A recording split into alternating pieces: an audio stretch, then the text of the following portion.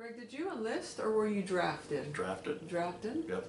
Well, tell us a little bit about the year and that experience. Uh, I was go to college. You had to have your nine credit hours to stay out of the draft. Just, uh, I wanted to accomplish something also, but uh, that you know it was a little bit of a pressure to make sure your hours were up and you were had passing grades and all that. And, uh, things got a little complicated, hard for me. I kind of I dropped out. So uh, that of took a job, and, and uh, pretty soon I get this letter in the mail uh, for go to get my physical. That was the two-week warning that you Okay. couldn't get your. jo- I was never in the lottery. This was uh, middle of April, 1968. okay. The lottery hadn't come out yet. Right, Okay. no numbers yet come Okay. out yet. So I get this letter to go get a physical. I was lived in Akron, Ohio. You went up to Cleveland, Ohio for the uh, physical at that point. So we go through that. I guess I passed. And so uh, then I, be- between that time, I thought, well, maybe I'll check with the Navy. Four years, I think I, I don't want to go four Yeah. years. I'm married. I have a good job. I had plans. you know, so I was already, yeah, I was already married. Uh, so and that would have upset the wife that I'd be gone twice as long as I had to be. How long were you, had you been married at that time? uh, we were married in July of '67. Okay. I got my draft uh, just before, actually, right around my birthday of April 24th, middle of April. Uh, so I just turned 21. Wow. Uh, I got my draft notice. I uh, uh, gave up on the Navy. I thought, well, I'll go in the Army. I'm pretty smart. Surely they won't put me in the infantry. I could get a good job. and so I risked it. Little did you know. Other than that, oh yeah, I didn't know circuits of draftees were pretty much first on the line for. Yeah. uh, but anyway, I went into the went into the service. Uh, showed up uh, May the eighth was my date. I had to show up at uh, Fort Knox, Kentucky. That was basic training. Went through that. It was two months, basically two months of that, and then uh, I had uh, orders to go to Fort Polk, Louisiana for AIT Okay. infantry training. And I knew that. I didn't know where I was going other than, you know, where in the infantry. But anyway, I like, I had to get my 30 days leave. I got 19 days. Oh, wow. Okay. Yeah. They always owed me 11 days, but I never, never received it. You never, you never went knocking and asked Never for it. got compensation for it. really. So uh, anyway, said our goodbyes and, uh, you know, uh, flew off uh, to California, to Oakland. And uh, you stayed there two or three days, there's a time frame, so Sure. how long I was there. This big building, you're in great big floor of a bunch of steel bunk beds. Uh, you could come and go for a while, then they almost like freedom, stay there. yeah. Yeah, Yeah. we went into town for something, but anyway. And then we uh, got on an airline, uh, it was Flying Tiger Airlines Hmm. at the time. I guess it was a commercial plane, but it must have stopped. But flew through Alaska. We had uh, hydraulic problems, so we were delayed a few hours in Alaska. Fixed it. We took off, got to the end of the continent. They said we're having hydraulic problems again. We need to dump all our fuel and try to get back to the airport. So Wow. Wow. Wow. We You started sad. off great. yeah, so great. It would have avoided Vietnam. Anyway, we got back to the airport. Uh, they, oh, it was a whole day layover, so they put us up in a Hotel Anchorage. Uh, happened to be a really nice bar at the top. There you go. a lot of us frequented. Some didn't even leave, but uh, I So- drank what I could. Was, And, uh, was it a whole plane load of guys, or was it like yeah, 10, 20? it was, okay, it's the whole whole plane. plane was uh, Vietnam veterans. Okay. Yeah, yeah, I don't, yeah, nobody else was on it. Okay. okay. Uh, finally got a good plane, headed out, and landed in uh, Yokota, Japan, I believe, for a short period of time. I don't think we got off the plane. Okay. And then on into uh, it Bien Hoa, Long Binh, something like that. Bien Hoa. Yeah, Bien Hoa. Stepped off the plane. It was somewhere, it was hot. The sun was Yeah. out and I could feel the heat hit me in the face when I got off the plane. You know, those days you walk down the steps into the terminal and don't remember as much about that other than, uh, there was a, you know, you're looking at these guys that are going home. They're pretty scraggly and war torn. One guy had two M16s with him he was taking home. Oh, really? Now, I don't know if he got on the plane or not, but he was in the terminal, with two, two automatic weapons. Uh, I don't think that was, I don't think he made it, but anyway. So, do you remember any of your impressions or thoughts at that time? Yeah, I was thinking, ah, well, I was in awe of these guys, probably wishing I was them going Yeah, home. yeah, Thinking- yeah. I do remember memories every so often of what I was thinking at the time. That's, that's kind of, I guess that's normal, I don't know. Yeah, I had a lot of time to think when you're just humping through the boonies. yeah, yeah, yeah. Thinking about what's important, what's not. Yeah. Uh, so, let's see, then we, uh, uh, I remember riding in a Jeep. No, no, no, no, we went for, uh, uh, five days of P training.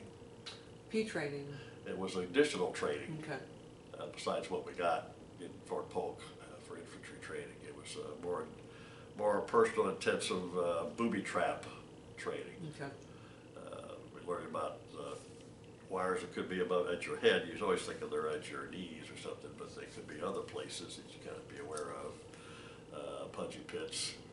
Uh, they had us low crawling through this area with large puddles here and there. Well, as we were low crawling, they would throw these quarter pound sticks of dynamite in these water puddles next to us to descend, I don't know, to get us Get you prepared used to for, it, yeah. for a shocking loud bang or something.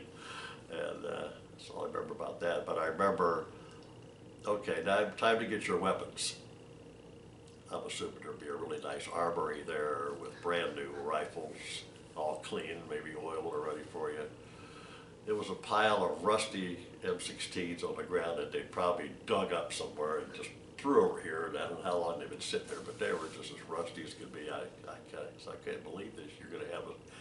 Yeah, you're like, are yeah, you serious? Pick, a- pick Yeah. one, take it apart, clean it. Hopefully it works for you. It was, uh, it never failed me though. You had it the whole time? Yeah, Yeah. yeah, the whole time, Yeah. yeah, the whole time. It was a good weapon. Uh, So from there, uh, I think I stood guard over uh, Route one A. one or two nights, watching the mopeds and bicycles going underneath me. And then we uh, went, went out, got on a Jeep.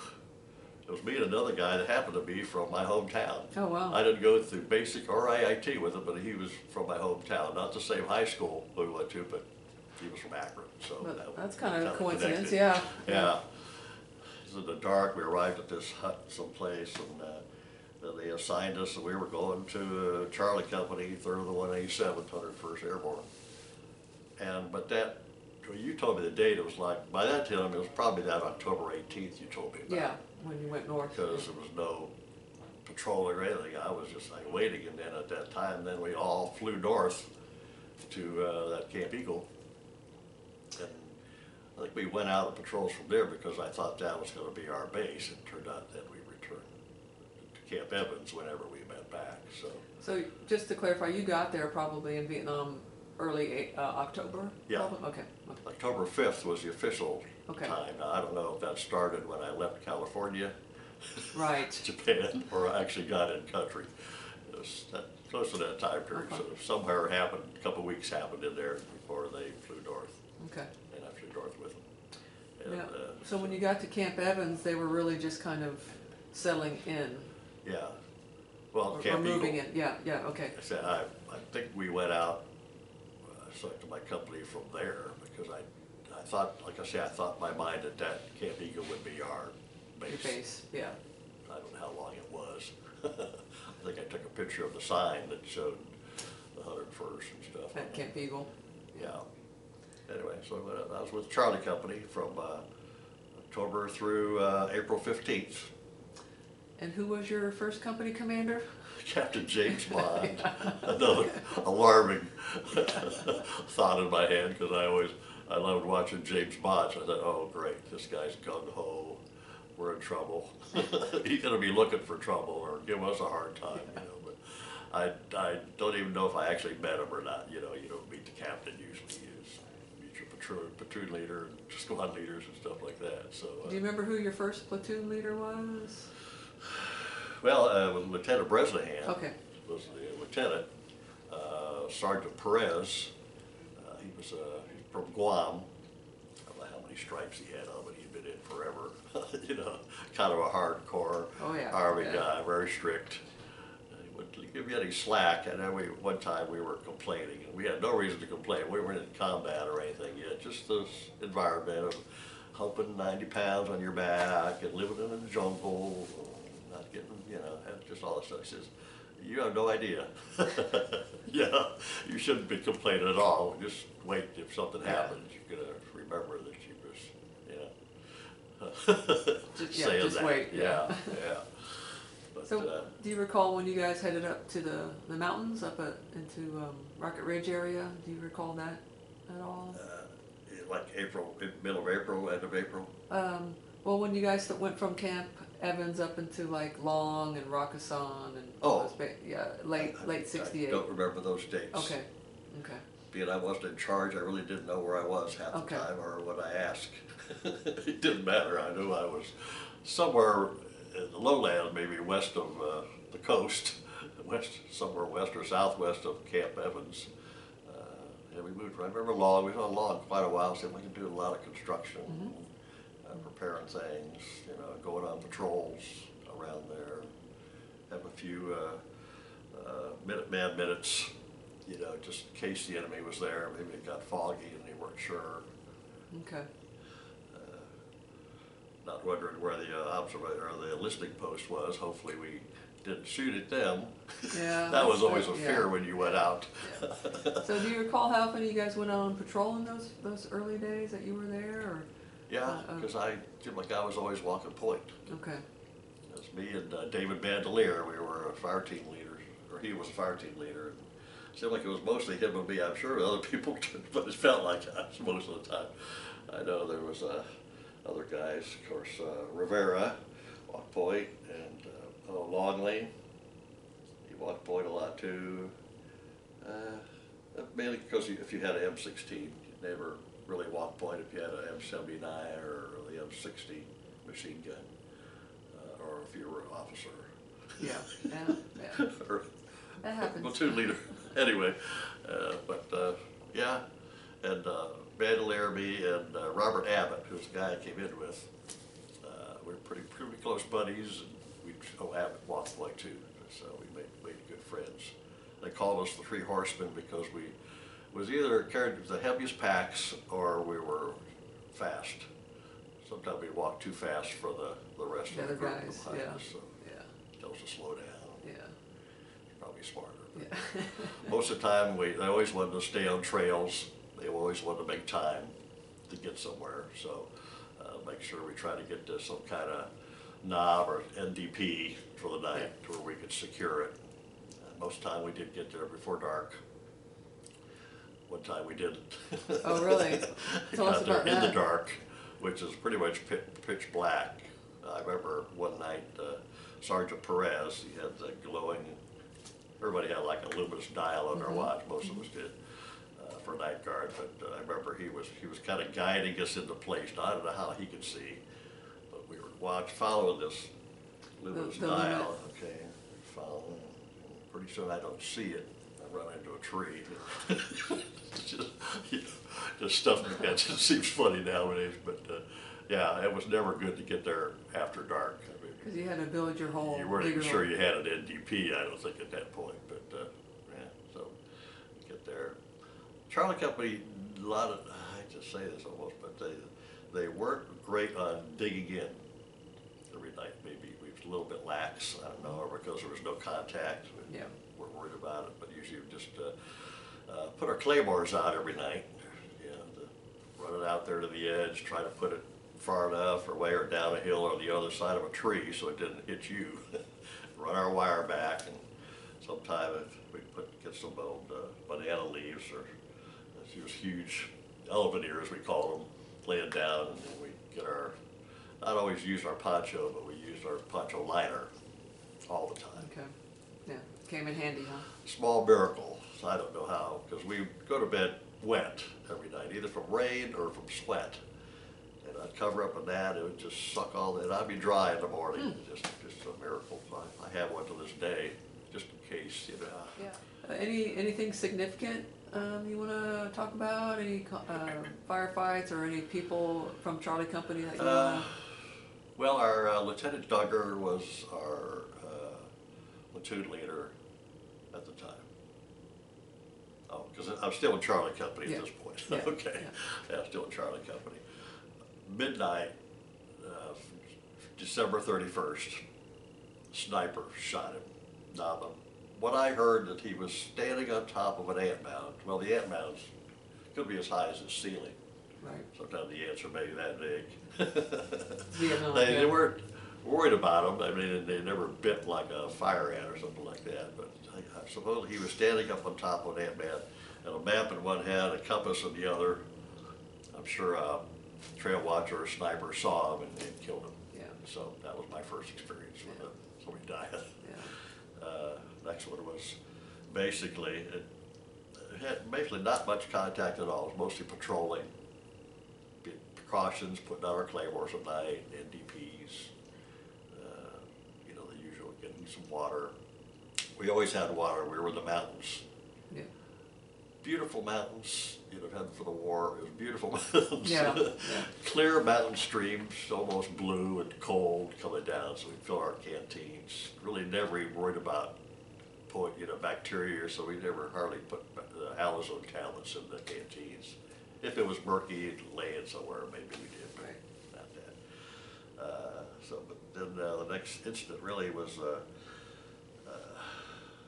February twenty-sixth, I guess, when Rivera was killed. We were on patrol, I think it was headed toward Leech Island, I hear. And, uh, well, before that, it was, uh, uh, who's gonna walk point? Whose turn is it? Nobody really spoke up. Uh, the guy I told you about, uh, shoot, what was his name? Anyway, he's felt guilty to this day that he didn't speak up. He thought it was his turn. Yeah. Rivera said, "Oh hell, man, I'll take it." So he, he got it. He's a guy that would carry cross bandoliers on his chest like this, you know. Hispanic guy, he's from El Paso. Uh, real good humor. He liked the Beatles. He was back in the rear. He would sing Beatles tunes for us. He must have had a, I think he had a drum set when he was home or something. I can't remember now, but he was he was a fun guy. Anyway, uh, walking down, following a stream, really, you know, it wasn't too deep, but it was the clearing. It was like a trail. Followed the stream pretty soon. I, he saw a trail going off the left. Well, as soon as he stepped onto the trail, he got shot. Okay. Uh, trail watcher, I guess, with AK-47 for five or six rounds in his chest. Medic was, uh, you know, working on him. Yeah. And uh, a two later, Perez calls me up to the front to help him. Well, I'm like five guys back at that point. I was behind a nice rock. That's his big. Called me forward. Okay, I took my pack off, set it down, went forward with my weapon. One guy was laying face down in the stream, so I intended to hit. This is uh, Alfred. Uh, he was laying there. so I said, "You okay?" Go ahead. I'm fine. just playing possum, Yeah, you know, not getting up. And the then, in ground. front of him was Rivera, and the medic was there, and I was trying to help the medic. I think the medic had kind of realized he was dead, but I kept going. Yeah. Your friend. I kept trying to, you know, the sucking chest wound, and plastic on the front, and it was just, it was just going. I was talking to him. Yeah. Yeah.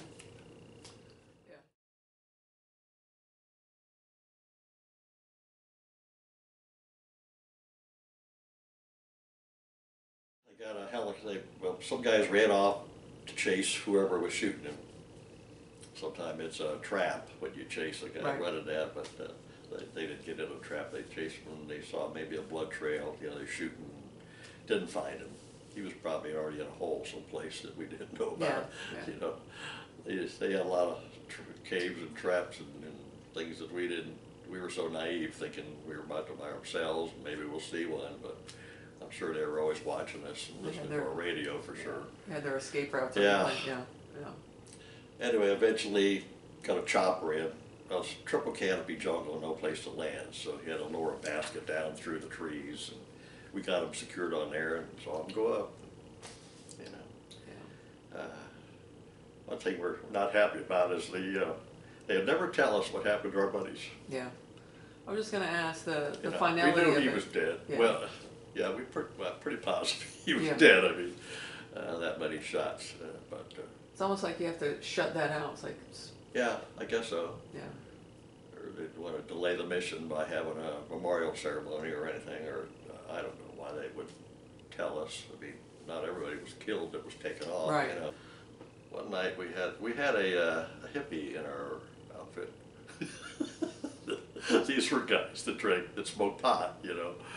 Uh, He was, uh, he was smoking pot, but none of us did.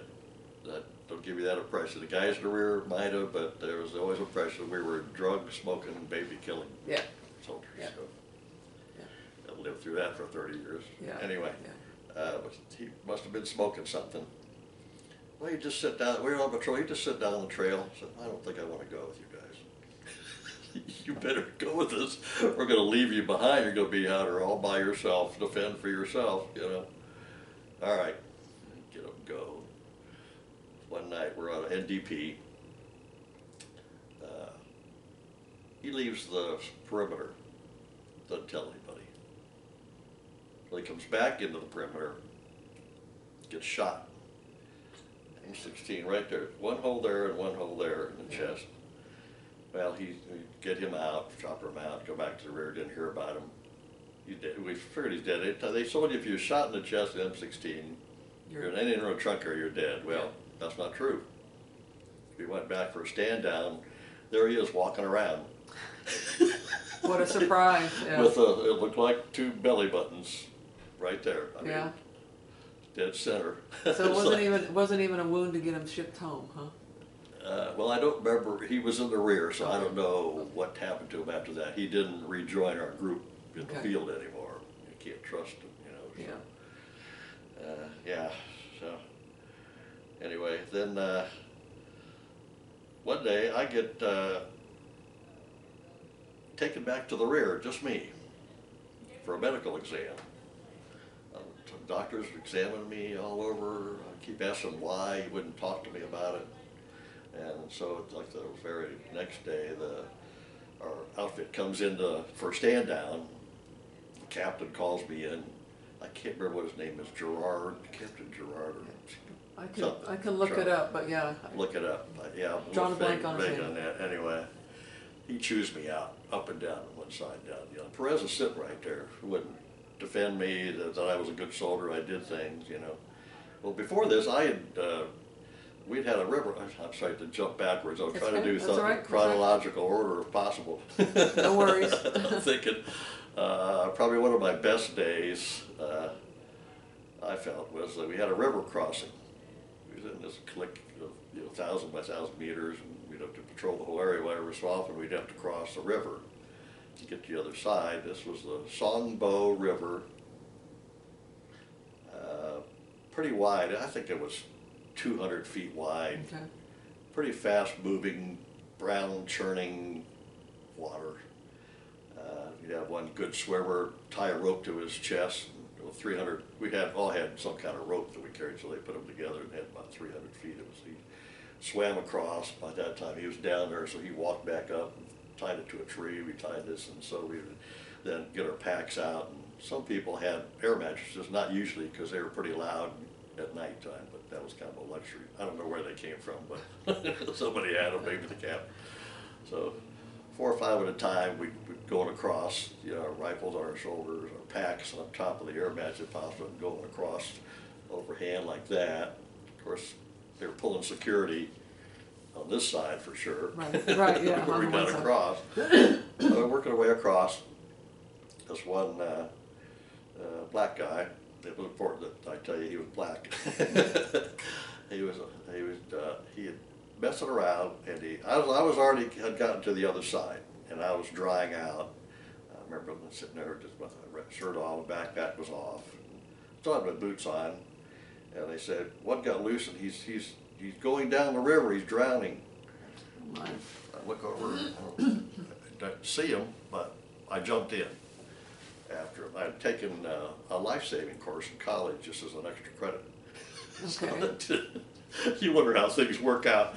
So I was confident that, uh, that I was a strong swimmer, so I was confident I'd be okay. So I swam out to there and I'd, I'd go, my hands up like this, you know, where is he? Where is he? Oh, he's over there. So I'd swim over there and where is he? Where is he? Pretty soon this little brown shoulder appears on the top of this brown churning water. I mean, I just lucked. yeah, So I did the underarm, you did the cross chest carry and I- the kick, I got back to the shoreline. I was wore out By Oh, the yeah. time I got back to Yeah. shore, yelled at the guys to come help me. I can't, you know, I'm tired. So I got them up on shore and I put them uh, face down, downhill. It's just, they didn't have mouth to mouth at that time. It was, you know, he put his arms up like that, his face is clear as throat for any obstructions, and I'm working on his back of his back and pushing him like that. Well, he pretty spends up once the water comes to, because he was out. Wow. I- He wasn't dead, I Wow. guess, but he was unconscious, because he wasn't fighting me or anything on the way back, so. So that was my good day. That's a good day. Saved Yeah. my life. Yeah, that's a good day. Yeah. Uh, Specialist Grant, Grant, Grant. did you ever have, um, I could contact never with find him? him No? again. I wanted to tell him what a miracle that was. Yeah, I'm sure he's And I found grateful. him. He wasn't grateful. No? No? The other guys gave him hell because he didn't thank me. Mm. So he begrudgingly came back and thanked me, you know. I don't know why I'm thanking a white man. Yeah, That was Yeah. The tension. you edit that out or not, but that was the times. yeah, attention, So, yeah, I thought, okay, you're, you're welcome. yeah, Never spoke again. wow, And I can't find him anywhere, like if he died or if he was still there. I keep looking up Grant. That's all I didn't know his first name. I figured he was Spec Four or Corporal, you know. David during hasn't that run across time. him? I, I. I don't Bandolier know. hasn't run across him, no? Yeah, can't seem to find him, but uh, it'd be nice if he came to a reunion. Yeah, Uh, I don't know if he even made it to the hill, because of that April fifteenth, when the captain was chewing me out. Here, my mom and dad had written their congressman they didn't think we were getting good medical care. yeah,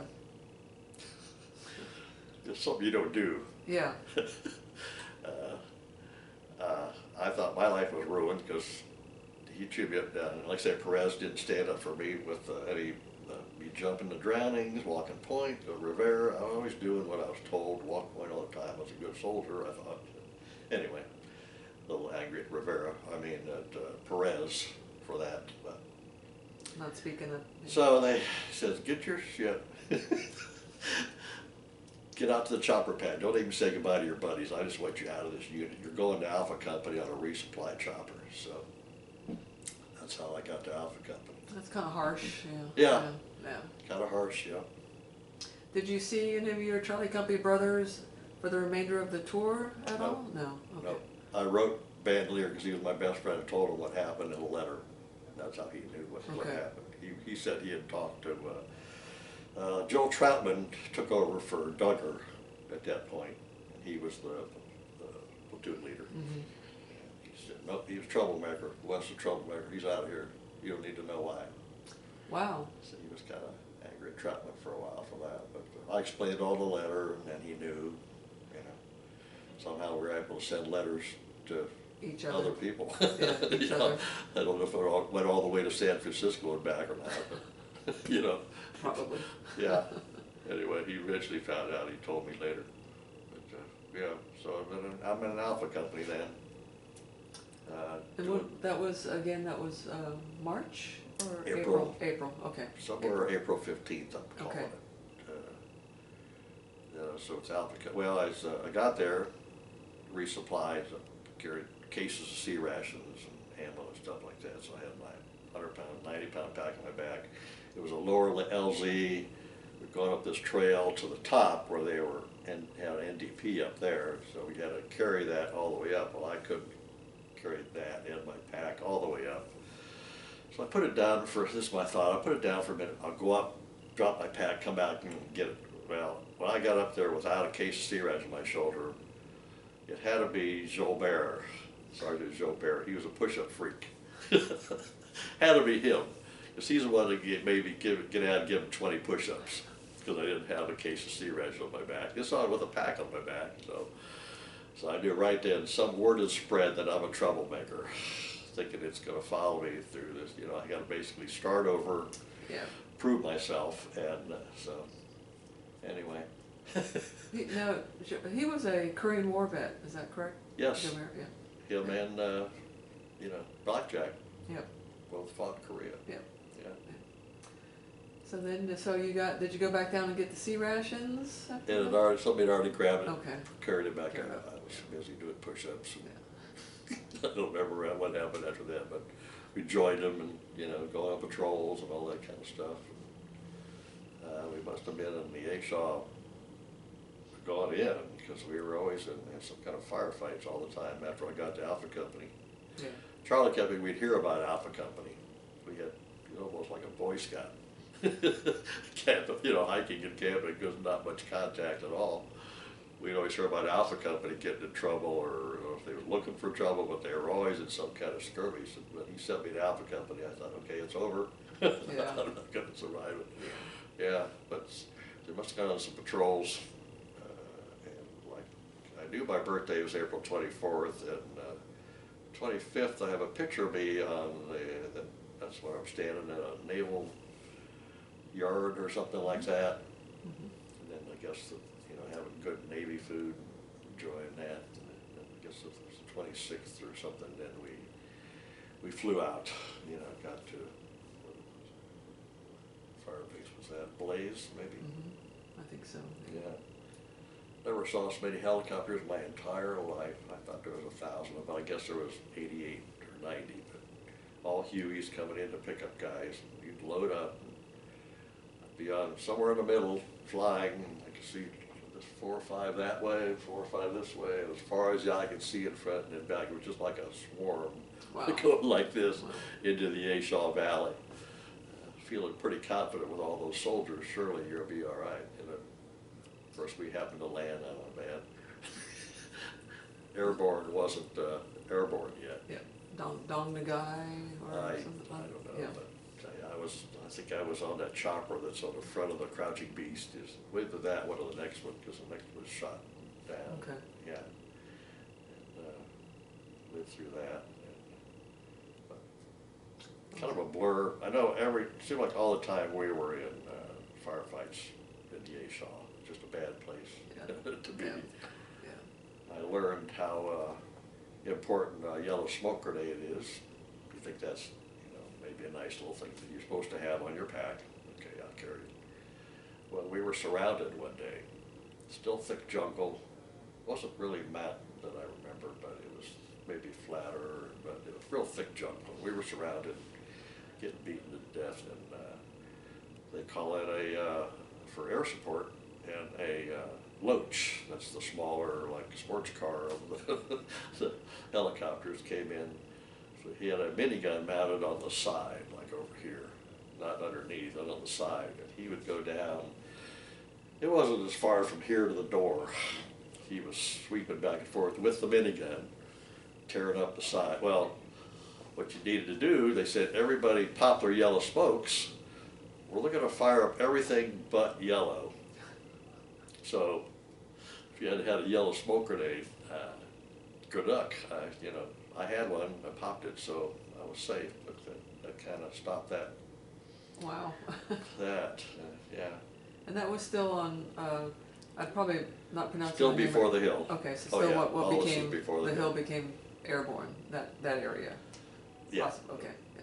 Yeah, they eventually, we doing excursions, somehow they got airborne, turned into a fire base.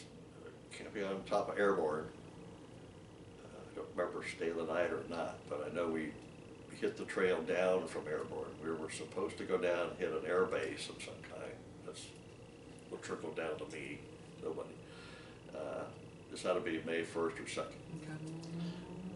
Uh, I just found out the other day from Bandelier, he looked it up and it was May second and third that the two point men were killed Yeah, in Alpha Company. Yeah. So Yeah. you might have missed one or two on your Okay. thing last night. I don't know. Could very I don't well know who be, they yeah. were, but Yeah. same to say, I don't know their name.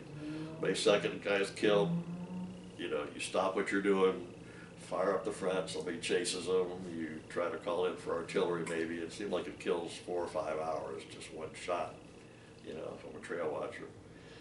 And then, uh, next day comes, they proceed down the trail a little further, point man gets killed, another one gets killed, same bigger roll all over again. Uh, a lot of ammo being fired up.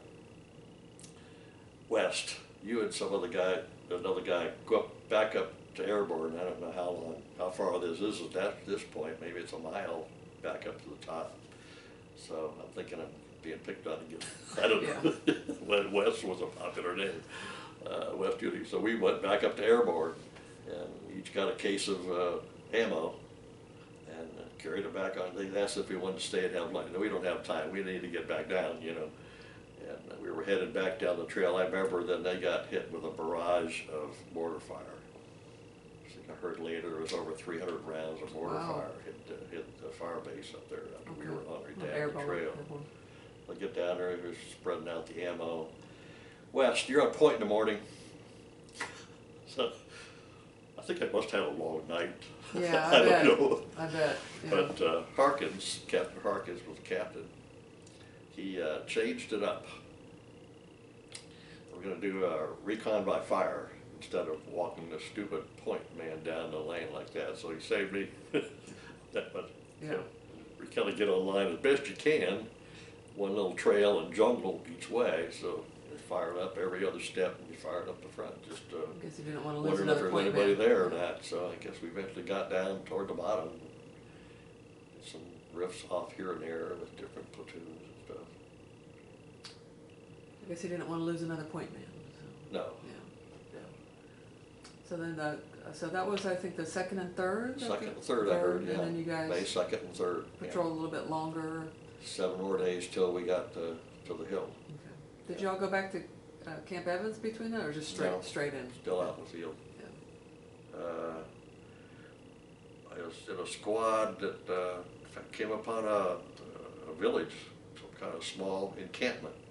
And it had been there a long time. There was hooches with bunkers underneath them. There was a trail going out. There was like five hooches on the side.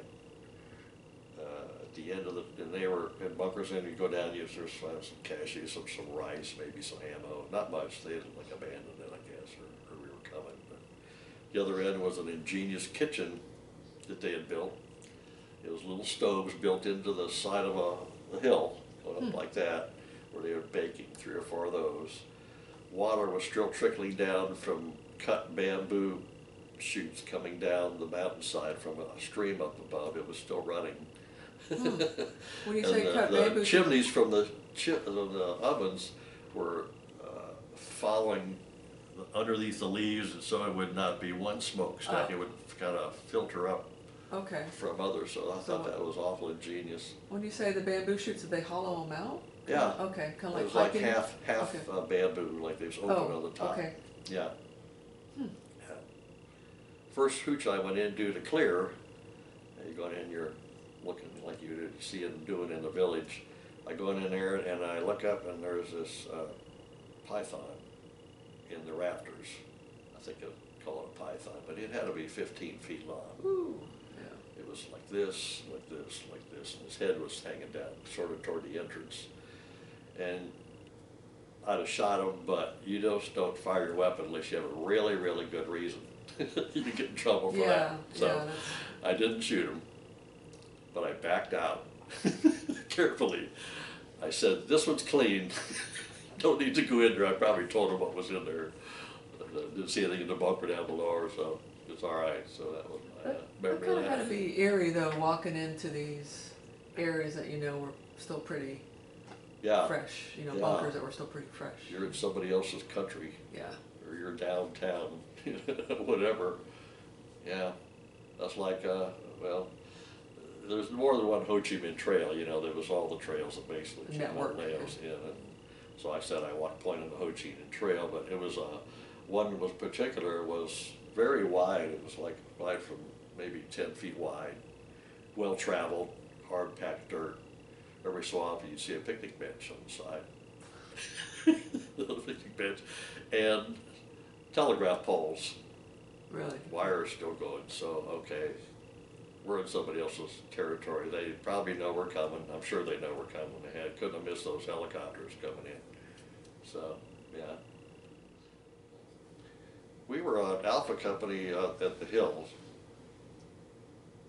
and we were like on the western side, the Laotian border side is what we were told Mhm. to where then we would have sawed up the western slope and up those ridge lines. It was very, not just a smooth thing.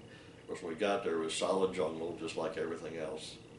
It just seemed like a regular trails. We would go up and patrol up and, you know, penetrate that. It wasn't we knew uh, there was a regiment there or anything, and we were gonna plan that out. Honeycutt already determined he wanted us to top of the hill by that day. Yeah. That's what I heard later.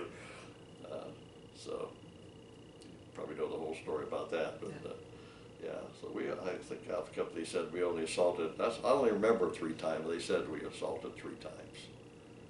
Uh, uh, we camped down below.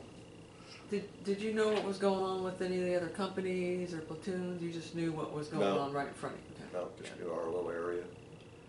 One evening, uh, well, I, I dug my own bunker, just like, there was a saddle, there was maybe the river, Laotian Border River down here, kind of up a hill, kind of a saddle we were in that we kind of camped in at the bottom of Hamburger Hill. Mhm. So we were kind of spread out along there. I had dug my hole on that side and pretty deep into the jungle, just in case. Uh, so I definitely had a hole to go to. But I remember one night, for some reason, uh, we left, a couple of guys, we left our area, we went up the trail to our left, and there was some Bravo companies guy up there. They was kind of sitting around a little circle. It had to be, yeah, it was dark, maybe it was moonlight, because nobody would have had a light or campfire, but uh, they're sitting around a circle and they were passed around a canteen. Oh, well, okay, whatever. It was full of whiskey. At first I thought it was a, remember that maybe it was a bottle, but somebody told me later, no, somebody had put, filled their canteen with whiskey, so we were, you know, like the, the old soldier, you see them drinking a bottle of whiskey it to the left.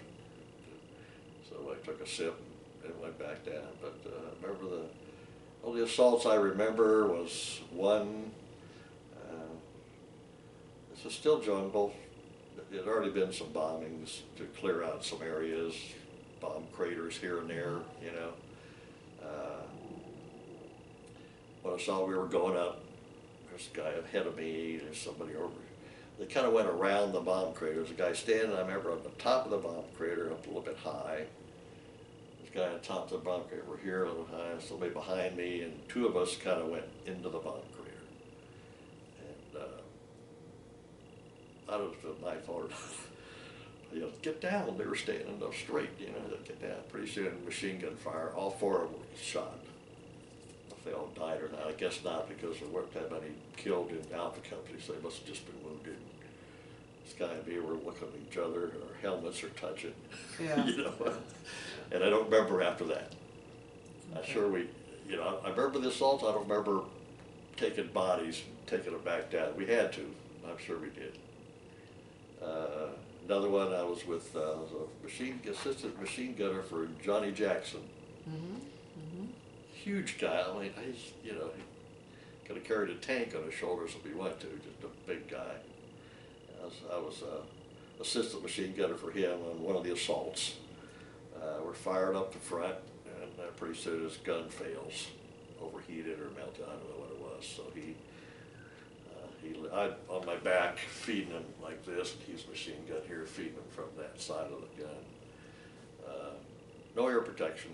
Yeah. That's why- That's why y'all That's are kind of important. Yeah. Wait, stop, we got to put our hearing plugs Yeah, in, yeah. that, you know, nothing like that happened. I don't even remember having earplugs. Yeah. But, because you gotta be, listen for any sound, all of a sudden, you got a firefight, machine guns and bombs going off, so, uh, that. And, uh, So he went back down, and I stayed there, because I had M sixteen, I was still, uh, still assaulting and fighting. Uh, I was saying three, but this, so during this one, it must have been where we're going up the hill, guy to the left me gets hit with an RPG. The chest. Chest. Yeah. All I remember is helmet. Was spinning at my feet, Yeah. full of blood. No, Yep. Don't remember after that. I Yeah. guess God's turned off my brain at that point or something.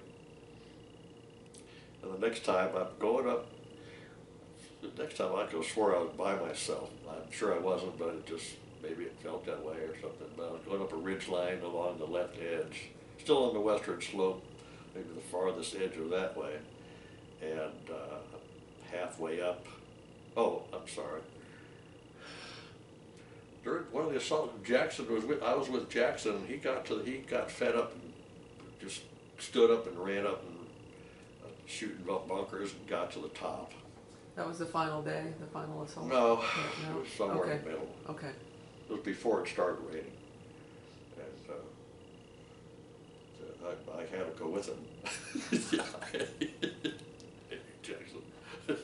But he was up there, and I remember he got to the top, and, uh, a white, uh, smoke round hits from artillery.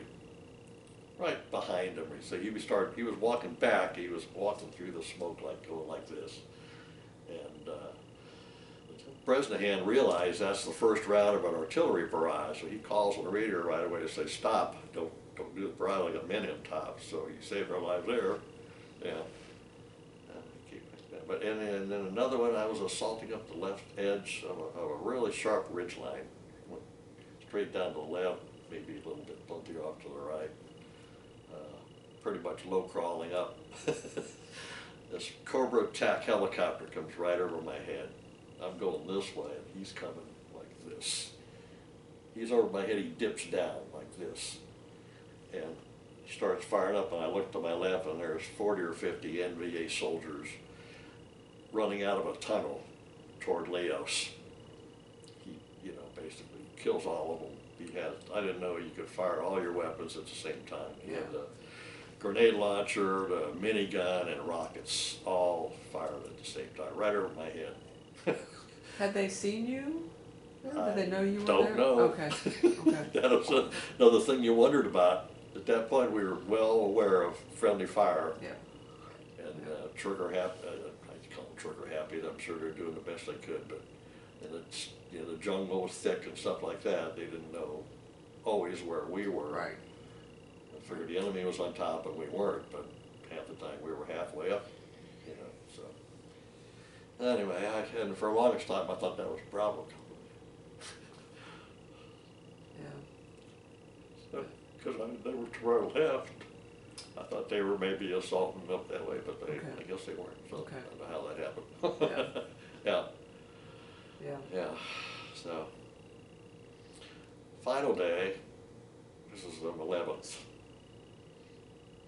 Eleventh hour of the eleventh day. I'm assuming, uh, going up. We always left our packs at the bottom. You could carry your pack and at the same time and assault the hill, so we'd get our water bottles and well, all the ammo we could carry at our sixteen and go up and, so, final day, I didn't know it was final day, of course. right, Uh, and I, I must have been down there at the bottom hesitating, thinking, really don't wanna go up this hill. Somebody behind me says, get your ass up that hill. I never know to this day who it was. So I started going forward. I'm, I'm firing up the front, uh, dropping magazine, putting new magazines, firing up the front. My weapon was so hot. All I could touch was the new magazine. I mean, I had to hold on to the grip and the trigger, but I basically hold on to the magazine because the grip and the barrel was red hot. Got to the top. I, I can't believe I didn't shoot anybody in front of me. I, I didn't, but I, you know, maybe I was all alone. Going the last guy up. I don't know how that worked, but I got to the top. I remember sitting there on the edge at the top, one magazine left, all, all my ammo, looking back down the hill. Here comes Perez, he's policing up magazines, he hands me two. From Charlie Company. He, he was on, I guess he was on R and R at the time, and he canceled his R and R and came back wow, to be in the battle, wow. yeah. Is he still alive, do you know? No. No, okay, uh, three or four or five years ago. He came to a couple reunions and, uh, you know, and he died. He was, okay, lived in Guam, that's all I know. okay, Uh, Yeah, pretty sure we did not spend the night then on the hill. I- It doesn't make sense to me they would, I don't know. They would get counterattacks, I don't know, anyway. They flew us out and, uh, I remember being at Eagle Beach for a couple days, relaxing in the sun, that's those pictures I showed you, Yeah. beach and stuff, relaxing. They said we had steaks for dinner, can't, can't remember all that. Then they put us kind of on light duty because we were still diminished in size. Uh, I guess Charlie Company had seventy-five percent casualties, I think they said we had thirty, I forget what Bravo and Delta had similar. So, know, Alpha Company had the least of Rough- rough all the way Just around, luck. I Yeah. guess, or the right side of the hill, I, I don't know what it was. I don't know if it was our experience or not, but. Could be. I don't know, Could be. I don't know. But, uh, Yeah, and it was on light duty, we were on, uh, guard the An Lo Bridge, About somewhere near Hue. Yeah, I'm thinking it was south of Hue, because, uh, east of Hue? um, yeah, it was north, northwest of Hue, I guess. I could show it to you on the, on The thing. I would remember is that, uh, we're there for a few days, we're, we're going through buses, looking for weapons and enemy, you know, and letting them pass and go to the next bus, and then we'd stay in these little hooches. Who built the hooches or just taking over something that was there, I don't know. Uh, Pretty soon I'm getting this really terrible fever and can't get up and call the medic in. I guess I got a hundred and five temperature. So I had malaria. After all that, They yeah. convinced the medic to, you know, for help. He helped me, put me in a, I was in the back of a Jeep and we drove through Hue. I remember you see some of these temples and around, a- I don't know if you went around or something and then on, and then I, I'm guessing I ended up at Evans. I don't know, but I was in a army tent, the grass floor on a cot with uh, alcohol rags on my chest and a fan Hmm. to cool me down. And uh, that for a little while, and then they realized it wasn't enough, so they shipped me off to an Air Force barracks hospital someplace. Not possible. No, that's when they sent me to Cam Ranh Bay. Okay, okay. Air Force Hospital in Cam Ranh Bay. I'm in a uh, nice barracks, I'm in a, you know, a hospital bed with clean sheets, and they had a, uh, uh, some kind of uh, refrigerated suit around me. It was light green, it had tubes going all around me like that, Keeping you cool? keeping me cold, yeah, Yeah. I'm shivering, I remember that, shivering, because it was so cold. Uh, trying to keep my temperature down, but I was also watching John Wayne movies at the same time on the TV. A little treat, yeah. It helped a little distraction from you thinking about your cold, so Yeah. uh, I remember that, that was great. And they started uh, treating me with quinine, I guess, to get rid of the uh, malaria. Turns out I'm allergic to quinine. Oh my, They told me they did, they tripled everything overseas because of the bacteria, diseases and here, but they would triple dosages, so maybe that was it. But my head swelled up, my ears swelled up, my eyes shut, and my throat started closing up. Remember them rushing me out on my, on my bed, I guess, out of the door, down a covered wooden walkway, down another wooden walkway into another building, which must have been surgery. And before any painkillers, they started digging uh, flesh out of my throat with this like angled tool that had like three teeth on it. wow, And they were, yeah. yeah, I remember crying on the, all the way back to my bed. yeah. I know what they must have gave me a shot eventually, but well, they had to act quickly because I was choking. Okay, so we're trying to get. I couldn't breathe. Yeah. I was choking to death. So. After So then all they that, lanced my, my jaw draining, draining my parotid gland, they called it, from here all the way down my chin like that. And they put it down, it was, they told me it was a plastic surgeon from California that performed the surgery. So he tried not to deface my, make, you know, make me look ugly. So it was, I had a line that was kind of numb for years, it just went down that end. But they, they left it open to keep it cleaned out, these long wooden Q-tips that just go up and down. and ouch, yeah. So I couldn't eat, drink, anything, so I was on fluids. Uh, I went down to about hundred and thirty some pounds. What did you weigh All the you, muscles in my leg were gone. I my kneecaps were the biggest things on my legs. what did you weigh when you got to Vietnam? Probably like hundred and sixty-five or something, maybe something like that. Pretty good shape, you know, from all the training. You know, I- uh, one picture I was doing a one-arm push-up for the family. But right around in there, I think, maybe hundred and seventy pounds. Yeah, I lost all that weight, muscle and fat and everything I just lost. Finally, the nurses, uh, I was able to take food, so they were, remember feeding me milkshakes, chocolate milkshakes, and got me going. I was able to stand up, I was able to walk around. I got a, another uniform that fit me. got a haircut, uh, on the base, and they, they saw me walking around, okay, you're back in the field. Do you remember I how weigh long? about the same as my pack now. Yeah. Do you remember how long you were in different hospitals or how long that, I'm thinking a month. okay, Uh, the battle was over the twentieth, we were guard the An Lo Bridge for a few days. Uh, Put me at the end of May.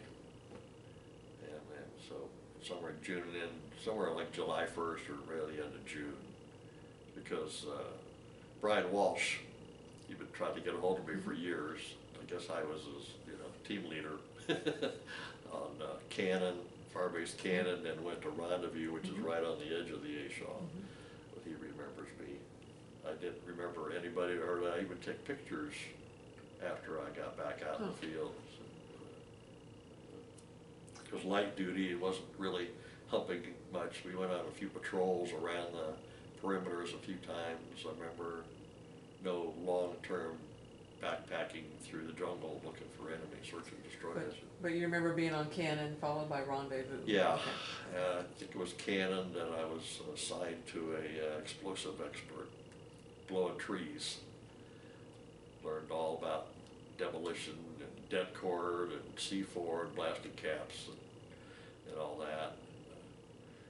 So one day, we're on patrol, we pass this unexploded five hundred pound bomb on the edge of the trail.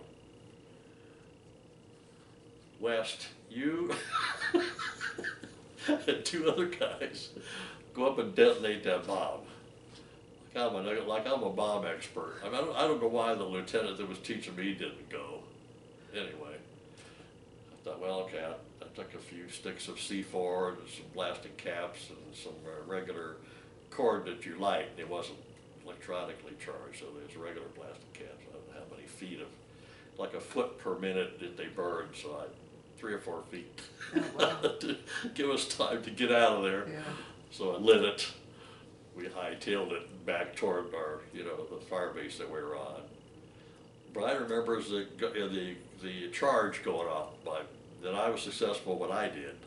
The C four blew up, but the five hundred pound bomb did not. did not, And we didn't feel like going back and checking or doing it again. I mean, we, you got this bomb pretty much exposed, you see the head, it's like this big around, it's from here to, eh, maybe not quite that wall, so. Good I'm. Guessing five hundred pound, Yeah. So, okay, I put, where do I, I put it toward the head, I guess. Put the explosive around the head. That was my thought process, not being an expert. Sounds good to me. But it was my job, so. And I thought all these years, only I knew about that or remembered it. Here Brian, he was with me on that particular little, uh, little jaunt. And he remembers Yeah. also, yeah, I just met him two years ago in San Antonio. Oh, really? He'd been trying to get a hold of me, yeah, okay, yeah, so we met. You, you tell me these stories, I think, you were there? You know, type of thing. isn't that crazy, yeah, Yeah. yeah. I thought maybe you had made contact with him a while back, no, just I recently, don't remember people after I got back out in the field. okay. I don't know why, it's very insensitive of me not to remember Well- people's names I was with. No, it's all Of course, I the remember Charlie companies, cause I was with them six and a half months. Yeah. As I got to Alpha, we were in battle all the time. Yeah. I knew a few people's names that was in our squad and was close to, but that was it for So, okay, knowing people. quick question on, you know, your hospital and stay, did your family know what was going on? I'm sure they were notified you were in the hospital, or? I don't know. You don't know, okay, And I, I had a IV in my arm and I remember not writing them. Yeah. So they found out eventually that I was, I remember as soon as we got off the hill, they told us to write home to your families, tell them you're okay. Well, yeah, they're seeing all that on, on the news, So I don't know how yeah. fast the mail was, a week. You know, Yeah, why did they let us call home? There was a bar station, you know, at Yeah. Camp Evans, we could have called them, anyway. well, they're watching all this on the news. Yeah, to oh be God, honest, yes, they're watching it on the news, yeah. Yeah. Yeah. Yeah. Well, my Okay, so- family uh, saw it on the news, lived in Akron, So the stations in Akron were Cleveland stations. So they drove up to Cleveland and uh, CBS had come out to Hamburger Hill one day. I remember hearing the cameras were there and some kind of gesture, they bought us, they brought ice cream out. You know, the little cups like Yeah, that, it, yeah. it was already milk by that Yeah. time, but it was a gesture, I guess. I don't remember them filming, they didn't film any battles or anything, it was just somewhere in a lull, I guess. Yeah. Yeah. Anyway, the hard part of that battle was the, when the rain came, far, you know, the eighteenth maybe, something like that. By that time, all the jungle's gone, Yeah, it's a muddy, it's a dirt hill full of potholes from the bomb craters all over the place. Sticks here and, you know, beat up, chewed up sticks here and there that were trees and branches. Well, we're grabbing, it's a muddy, you know, muddy slide, very slick mud, dirt. You're trying to get up, you, you grab it quick, you're trying to get up and looking for enemy at the same time and shooting. yeah, And uh, it's- it's something like that one scene in the movie Hamburger Hill. That's the only one we agree was pretty close. yeah, okay, good to know, good to know. Yeah, yeah. The rest of it was similar, but not. Yeah. not that fast. And uh, somewhere early August, maybe the tenth of August or something like that, on patrol. There were usual patrols around the fire base. Must have been rendezvous at that point, because this was toward the end. Uh, I'm on point, walking kind of a little trail or flat area that you can walk around the, around the perimeter. And uh, being on point, you're super alert to anything out of the ordinary. Well, I see this tiny little green cloth packet, about that big. It's like sewed around, it's like feathered edge, like a, you know, jagged edge, sewed, something hard in the middle. Uh, I'm still looking, so I, I put it down in my, you know, those parachute pockets on the side. I put it down in there and just kind of forgot about it. I think I was, think I was gonna ask somebody about it later. I didn't, and one day we're sitting having lunch inside the bunker and my leg must have hit the, the hit the metal edge of my rucksack and exploded on my leg. Holy moly, I heard, all I heard at the point was a puff, and smoke came out. I looked at it, shit, I tore my pants. Well, I pulled my pants apart and got a hole in my leg that big around. The, you know, the explosion already blackened the veins and stopped the bleeding from happening. Ca- cauterize it, yeah. Yeah, cauterized it already, so I had to convince the medic to come over, I had a problem, you know, okay. How bad could it be? All right, Wes. I showed it to him, so they, I called choppers out, and I got to pop my yellow smokes, and they landed, picked me up, took me to a MASH unit. I remember them asking me if this was a uh, hostile action, I had to say no, it wasn't. What, what was it that you picked up? That's what I keep trying to find out. It was some kind of uh, explosive that goes around mortars or, or artillery rounds. Okay, Yeah. Hmm. I just talked to an artillery guy. He thinks it's something they used to put on top of the mortars for extra explosives when it hit their point. But yeah, it exploded. Wow. yeah. surprise, Yeah, yeah. I knew I wasn't stupid enough to put plastic caps in my pocket.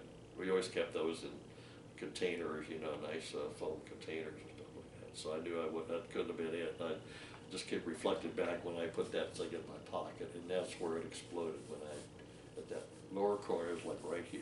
Okay, wow. Of those million dollar wounds. Yeah. So the family heard I had a leg wound, that's all they heard. And, uh, got back to, uh, uh, they said, it's been Da Nang. It's been to Da Nang for some reason. They sewed me up some more, they put, uh, oh, the MASH unit, they just put like three staples closing up that hole. Like one here and one in the middle, so it was like a, just an ugly looking suture. You I didn't have the nice- California Nice sewing suture, yeah, the, the plastic plastic surgeon surgeon was wasn't not there. there, yeah, yeah. So I got to Da Nang, they put me there, and they, then they sent me to Japan, and they said, if you go to Japan, you're not going back, you're going to the States, so. I went home after that. So, Normally that kind of wound and that early and maybe a different year, earlier year, they would have sent me back. Yeah, But because they were trying to cut down on the amount of troops in there, and of course, the, the newspapers about Hamburger Hill and all that that was going on, I think they just yeah. got people out of country, and so then I went home. So you got wounded roughly around the tenth of August. August. Okay, so you were pretty close. You were, you were becoming a short timer in Vietnam. Officially had ten months and ten days in country, Yeah. so they might have counted my time in Japan, Okay, because I got home on my wife's birthday on August eighteenth. okay, well, I bet she was happy about that. Yeah, I flew on a hospital jet, uh, facing backwards, or there was either beds or chairs facing backwards on this hospital jet, the Air Force hospital jet. We landed, I think, I just found out like a few years ago, we landed near Pima in Arizona, south of Phoenix. Okay. There's a big graveyard there. I remember when we were either coming in or sitting there waiting for refueling, all I could see was B-52 bombers as far as the eye could see. I mean, was, the graveyard, they weren't lined up for attack, they were just bunched all in against each other. Okay, Then we flew off and landed in Dayton at the Wright-Patterson Air Force Base. and, Yeah, did you stay in the hospital back in the States for a little while? Or- Okay, so you were, you I was there maybe a discharged. day, my family came down, and picked me up, and I went home. Okay, I was in blue pajamas from Da Nang to Japan to, to, to home. And the next day they had my full uniform for me, a full khaki uniform with my name and medals and a hat with the, with the thing on it and it fit me. Who was in charge of that? That was just, I thought that was another little thing that they just don't understand. Who's doing their job yeah, all, know. all of a sudden somebody, somebody yeah, all of a sudden ready. I got a uniform I went home with. Yeah, No. so when they, when they, you're wounded, and they pulled you out, you didn't even get to say goodbye to anybody at that point either. I might have said goodbye, Brian Yeah. Walsh. Off you go, yeah, yeah, I knew I was getting out of there and flying uh, to a medical facility. And I thought I was probably going to come back. I didn't know. I, didn't, I don't think I took my. Pretty sure I didn't take my backpack with me. But yet in my backpack had uh, I always kept a tape recorder. We were sending tapes back and forth to Yeah. home. You know, so I could hear their voices. She sent me one, and I'd hear her talking, and I basically didn't have a lot of them, so I'd write over that one, send it Send back. back. So it- I have a few left. that's Uh, pretty, save those, yeah, yeah, save those. Yeah. Um, I had a great question, but I, I can't remember what it was. Um, and you, oh, you said you recorded some of the guys you were with, Yeah. right? Yeah, yeah, One day I had a, I, we had uh stand down, were getting showers and change of clothes, and I interviewed a few people just saying, what's your name, you know, and they're, Juan Alfredo Rivera, and he just up and beat, you know, this had to be like January, December, January, like that. But Some other people getting showers, yeah. give me a hard time with the recorder, not really something I could. it's a family here, I a couple times. But anyway, yes, I did that. One time I, I recorded a typical night on, uh, a fire base, on the bunker.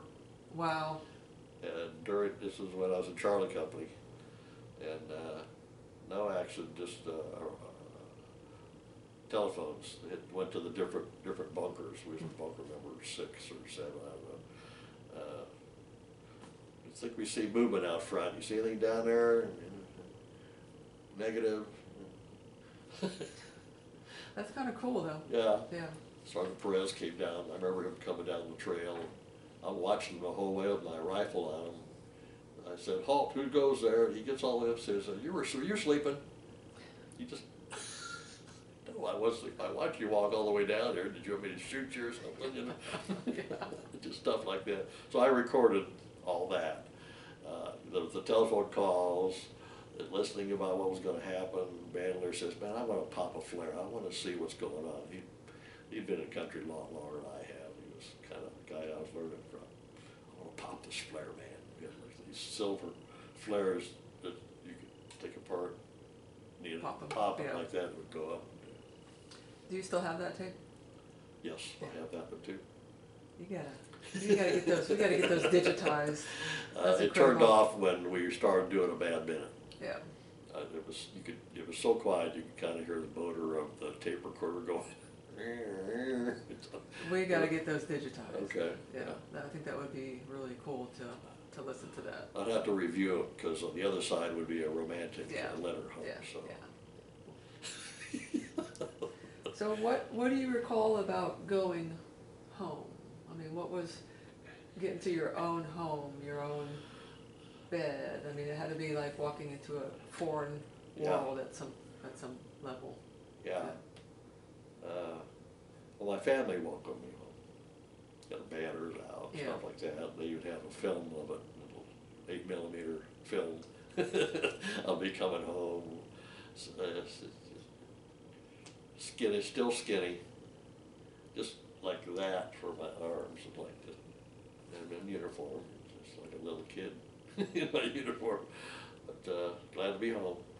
Uh, still really didn't. Uh, I think a couple neighbors came down and welcomed me home, but uh, didn't really tell anybody about it. You'd wonder if you still in that thing of uh, being a baby killer and didn't tell anybody you was a soldier fought in Vietnam. You just didn't didn't let anybody know about it.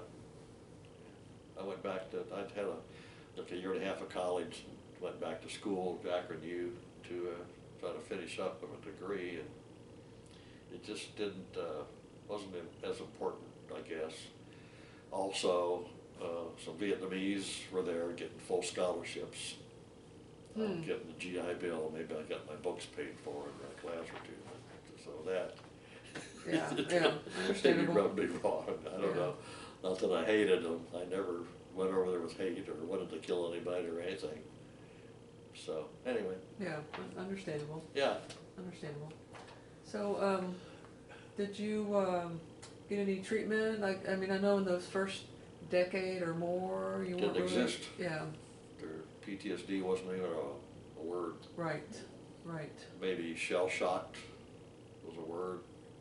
Think of the Civil War, it was called, uh, oh, something about reflecting back in time. I forget what that word was, anyway. But shell shocked or Yeah. whatever. Yeah, But I wasn't wounded, but, you know, I had little accident, but wasn't wounded. I felt I was fine, so I Yeah. wasn't gonna go to the VA and be a crybaby and complain about something. I don't Right. know, I didn't, didn't realize I, I probably had hearing loss. Well, feeding the machine gun that one day, uh, I just heard this boom Yeah. for two days yeah, couldn't hear a thing. I remember going down the trail and uh, the sergeant, there was a sergeant down there directing us which way to go. I said, I can't hear anything. You know, so But, you know, I, I don't remember the, the night, but you're, you're deaf and you're night, on guard at night, so that's all you really had was your hearing. You couldn't see anything in in the dark. Right. In the jungle, it was just so thick you'd almost touch your eyelids to see if those, your eyelids were open. But, yeah. Yeah, so a couple days of that, but then it went away. Then like 10, 15 years later, I developed ringing in my ears. Uh, yeah, So when, when did you go to your first reunion? it was like 2008. Okay. So good, was that? I think it was Troutman got a hold of me, contacted me. So good thirty years after, Yeah, 29, 30 years, yeah, yeah. not even thinking about it. I started thinking, not that I had symptoms, but I was real upset at the beginning of uh, Desert Storm and uh, those things that. Here we go. Yeah, yeah, Sent your boys into yeah, to their deaths, and, Yeah. you know, for no really good reason. So I think that's when it started affecting me, that I was really thinking about it. yeah. That's the first reunion, first or second reunion, Johnny Jackson was there. We're talking, he looks at me, he says, you need to get to the VA, you got PTSD. There, the lump shrubs like this, Yeah, talking Yeah. about stuff. yeah. So, he's the one that uh, told me to check into it. Did you go? I did, I went, Yeah. went home and found a yeah, Williamson, the county administrator for the VA or something like that. I, oh, I met a guy at a McDonald's one morning.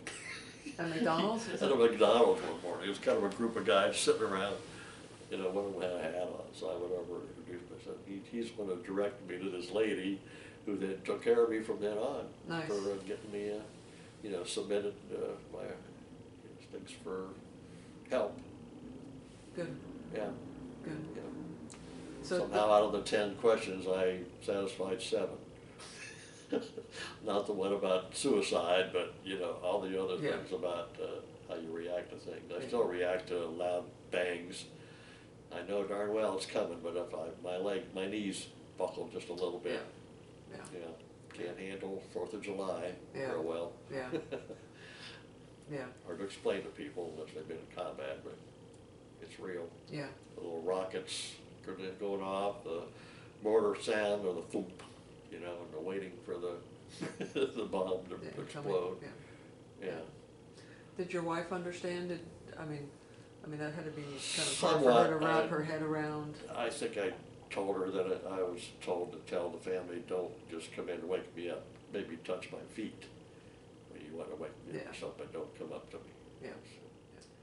Well, um, now that we've gone through the year, there's always things that you look back and think, man, I should have mentioned that. Is there any other people, events that you wanna mention, um, or bring highlight to, or any other experiences, or anything you want to say at this point? Uh, boy, the other people, I think I mentioned everybody I remember. Mike Valone was he my, he was my squad leader in Alpha Company. That's, oh, well, when I went to the very first reunion, it wasn't, it was at a, like a Holiday Inn or something. Uh, A Little apprehensive about going to the reunion. I was starting to believe the hype about crazy Vietnam veterans and, uh, didn't wanna be a bunch of gung-ho, crazy drug. Yeah, Yeah, I you don't hang out with those almost- people, yeah. Almost believed it, you know, Yeah. but, uh, so I went, we went the last night of the, of the, day- of that reunion.